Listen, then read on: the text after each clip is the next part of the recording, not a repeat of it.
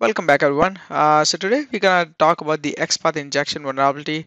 Uh, before we do that, I'm gonna teach you the basics of the XML, like uh, how, how the XML is different than the SQL or any other data store or query language. Uh, how do you query inside the XML? How do you retrieve the objects and stuff like that? So that will give you more idea on when we actually uh, discuss about the XPath injection and its payloads, right? Otherwise, uh, your basics will not be clear. Uh, so please hit the thumbs up button if you haven't already and let's dig into this. Uh, so the first one, uh, document uh, is equal to data store. What I meant by that is uh, when you retrieve the data from the, let's say SQL, uh, like, you know, there is a database and you store the data in there. Here, XML itself is a document and I'll, I'll show you in the next slide the example of how the XML document looks like uh, but the uh, the document is equal to data store. So if you want to uh, like you know store any information I think in the previous or previous to previous video we, when we talked about the SOAP uh, vulnerabilities or the WSDL file that was a, a, example of the XML file. And you could see there are various tags and with, within the tags you also store the value. So that is that is what the data is. Uh, and and when when you are as a user or attacker trying to attack the system so you are trying to obtain that data stored in the document rather than like you know there is an s3 bucket or a database. Uh, it's a query language uh, so as simple as like any mysql or any other uh, uh, programming language out there uh, it's a simple query language. But but the question is what is the xpath so the xpath is it allows you to uh, search in the specific node. So as I said, like it's made up of document and the document you have node, root node, and then you have sub node.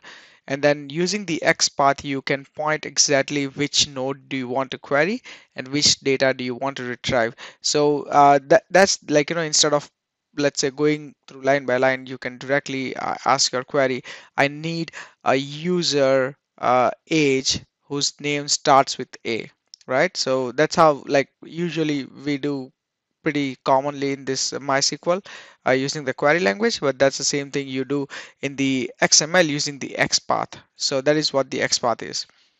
Now, if you uh, look at this, uh, so this is like, you know, one of the example, let's say a breakfast menu. And you can see here, uh, the root node here, we can call it as a food uh, or the breakfast menu, then you have food and and there is a uh, like you know big component for each one. So food then you have name uh, these are various attributes of uh, of the food. Uh, you have description calories and same goes for the other one. Now if you want to query let's say one of these let's say description or the price uh, your query will be something like okay slash food slash name slash price and it will give you all the prices information. I'll show you some examples in the later video but yeah the xpath is a treats xml as a tree so as we saw like you know the, there is a root node and then there is a sub node. So it treats as a uh, as a tree. Uh, there is a root node. So uh, like if you just specify like one forward slash it's a it gonna point to the root node. And then you can uh, point like you know you can traverse to the sub nodes using the food either name or price uh, you can also specify wildcard wildcard is very famous like uh, for for the attacker so when whenever you specify wildcard that means whatever the data you have under this node give it to me. And then you can also specify uh, specific details. So where you want let's say you want a, a price of the food which name starts with the w. So you can specify at in your query so that will give you a specific attribute type.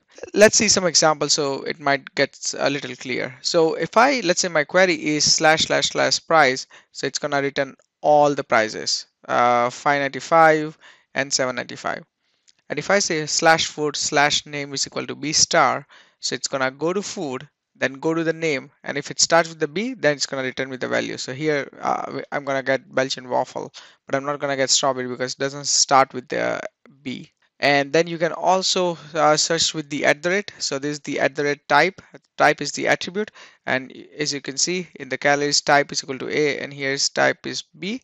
So whenever it finds type value B then it's gonna give me the values back so uh, just make sure you understand this concept uh, how the XPath like what is the XPath and what's the difference between the XML there's also an XSC uh, which we have uh, discussed in one of the earlier video. I have linked that into the description below. So be sure to check that out. Don't mix that up with the XPath injection. Uh, and of course, I'm going to show you the demo now. So uh, just to make it clear, uh, how is the XPath injection different than the uh, XSE? Uh, so this is one of the uh, uh, DAM vulnerable application. And as you can see uh, there is a section for XPath injection.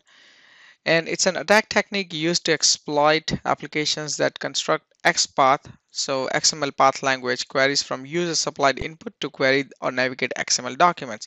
Now we already saw how do you navigate between the XML documents. So we're gonna now see uh, how you can create the query now this is no different than the uh, I guess SQL injection or any other injection tags because as simple as what I'm gonna try is I'm gonna try and and break the query or, or create a some sort of error in the query so I can uh, know exactly what is the backend looks like. Start with the uh, single quote here and let's see if it gives me any error okay uh, never save. So here it's uh, tells me warning xml element xpath illmarried predicted opt lamp htdocs uh, this just give me the file like you know the path of my uh, installation but it doesn't give me any but it does say your supplied credentials are invalid but there is some sort of syntax error that, that we can see here right?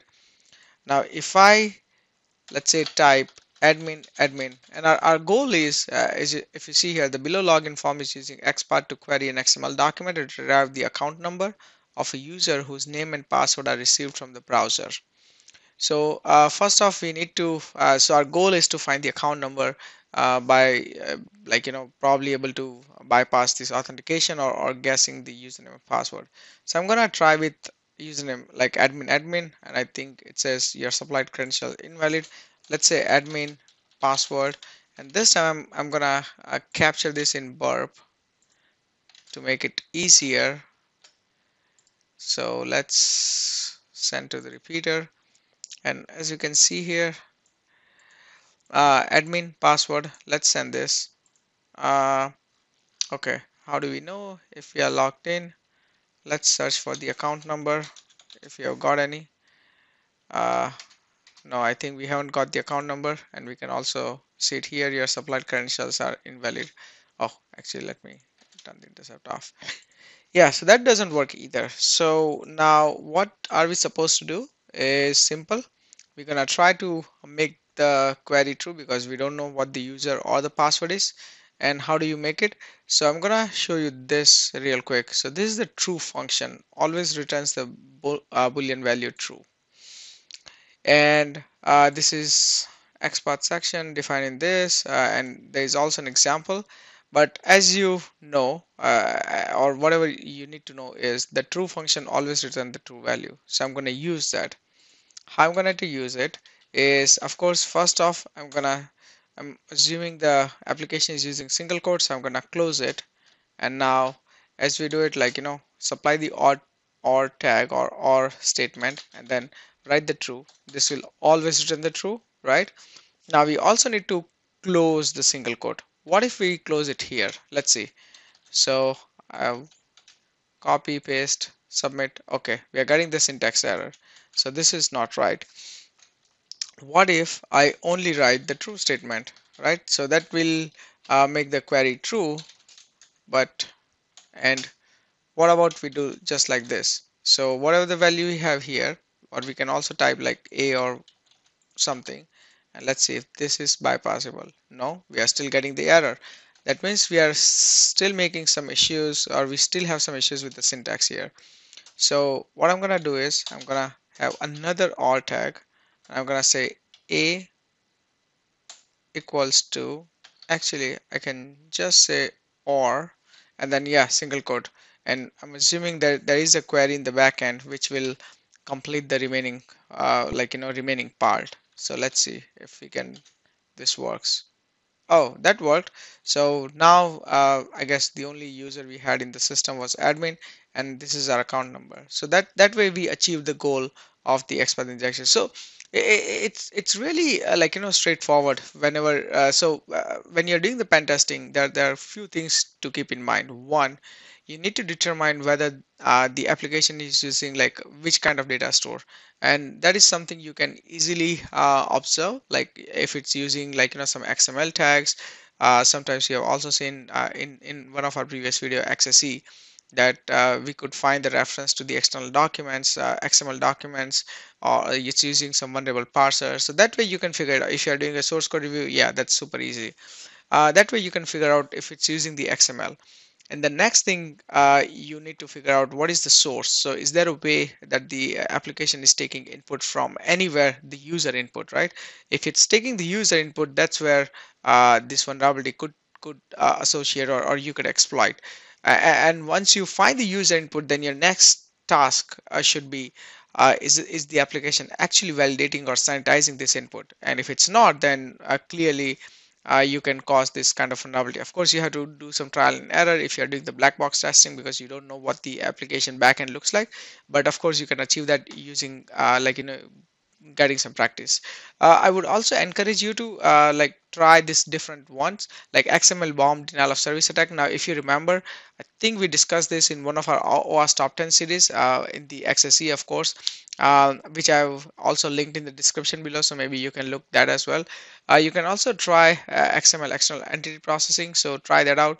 Uh, WSDL enumeration, we have recently covered it so probably uh, install this application on a local host and try it out.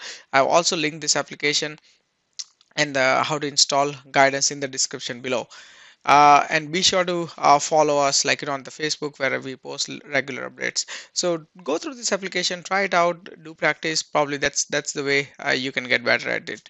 Uh, so that's it uh, right now. Please hit the thumbs up button if you haven't already. If you have any questions uh, let me know. Put it in the comment section. If you have come across any interesting vulnerability if you know different payload for the XML then do let me know in the comment section so everyone can learn from that uh, that's it from now. Thank you so much and I'll see you guys next week